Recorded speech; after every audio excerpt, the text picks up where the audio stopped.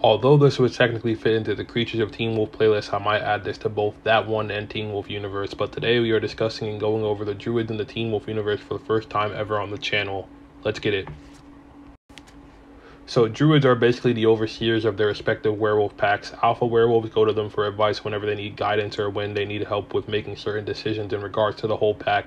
Druids act as advisors, emissaries, and healers to werewolf packs, and they also serve as a link between the supernatural and the human population, helping to maintain balance. Their connection to werewolf werewolves formed in ancient Greece after King Lycaon and his sons were turned into wolves by the god Zeus. The druids were the druids had shape-shifting abilities, and while they could not undo the old god's curse, they taught Lycaon how to shift back and forth between human and wolf, creating the first alpha werewolves in the entire series.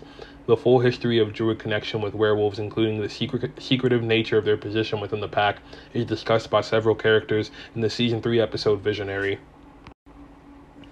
Whereas Druid means wise oak and indicates a dedication to philosophy and religion, Darach means dark oak and denotes a darker, more sinister perversion of the Druid's beliefs. Nemeton is the word used to describe a Druid sacred space. There is a Nemeton just outside Beacon Hills, and it was once a large sacred tree, but all that remains is a stump and a large root system which has grown into the cellar of an abandoned home. The remains of the tree can absorb the power of sacrifices, and Druids can use that power in a var- variety of ways, as seen with Jennifer Blake in the beginning of Teen Wolf Season 3.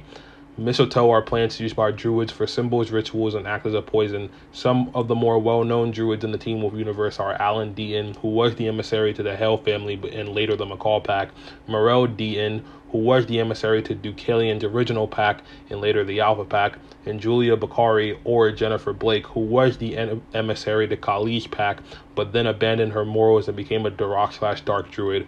If you guys enjoyed this video, make sure you guys leave a like. Make sure you guys subscribe to the channel for new Teen Wolf videos whenever I put them out at this point.